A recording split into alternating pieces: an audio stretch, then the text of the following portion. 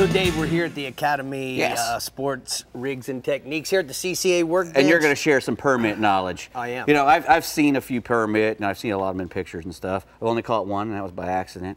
And uh, but you know, when you when they get really big, he's a jack. So you know, he's a jackfish. So he's going to fight like a jackfish. He, Yeah, he- they fight hard, and they got that big, you know, like wide tail, like they all do, and they're wide, elongated body. As a matter of fact, when they get really big, they look a lot like a giant trevally from the side. Correct. They have that same elongated but very wide body and those and those big stiff fins that really, you know, that's how they give it to you. They get on their side and give you business. Now, because they're you got to worry about how hard they fight, it's important to pick the right rod when you're uh, going permit fishing, correct? You know what? That's exactly right, Dave. Now, see, this is one of the things I'm so glad we're talking about this tonight because these both these rods are Okumas. One is an offshore design rod, medium heavy rated. Right. Okay. Now we actually have this big Azores, but look at the difference in the size of the rod that you would use if you were fishing offshore in a reef or a wreck situation where you don't have to cast. Look at the size of the differences between these two rods and reels. It's, I mean, it's amazingly different. Both of them are rated medium heavy. The difference is one is an inshore design, so that it has a light tip. It has obviously small uh, fighting area here, so it's just not nearly as big.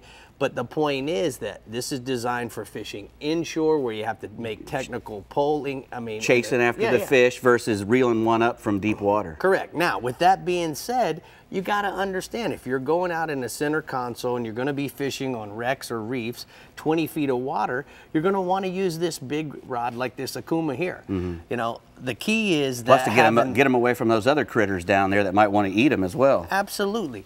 So the one thing I think that we need to understand is when we're fighting a fish, a, a permit, Dave, a big mistake we make is that we fight him like we would fight a tarpon, or we fight him like we fight a redfish or a snook, and we want to pull down his backbone. And as soon as he feels that line touch his side, what did he do? He immediately turns the way that it touched him, and he comes back at you.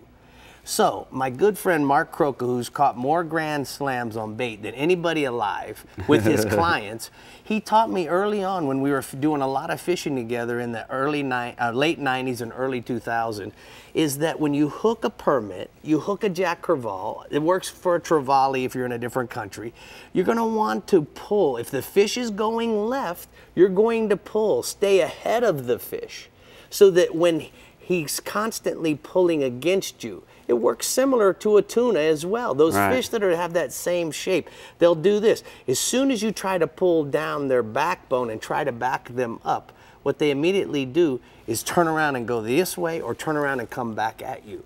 So it doesn't work by pulling down their backbone like you could typically pull most fish. Keep That that in doesn't mind. wear them out as much. Absolutely. So my the rod that I like is the Shadow Stalker medium heavy seven foot. I loaded up. It's still a place for mono on the flats, Dave. This Yes. is 12 pound Sufix Superior in the blue, and I double the line.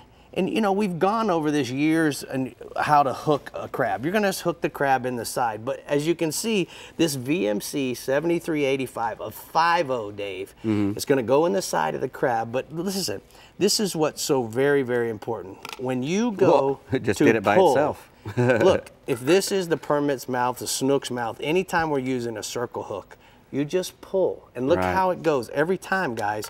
If I pull hard, you see what happens? You yank, it doesn't snag. You just want to pull lightly. Look how the hook turns every time.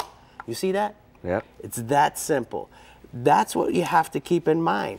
The It's, it's, it's very hard for fellas because we do the same thing when we're using circle hooks for blue marlin or anything else.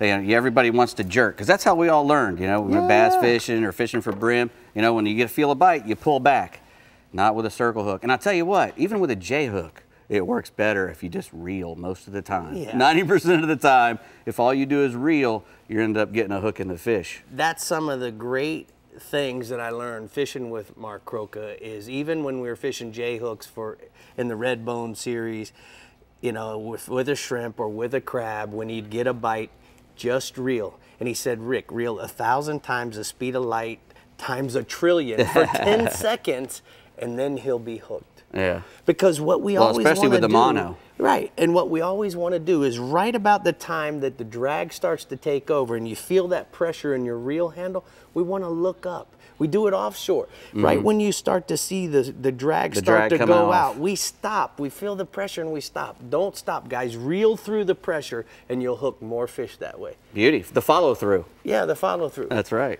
Speaking of follow through, It's Brie. follow through.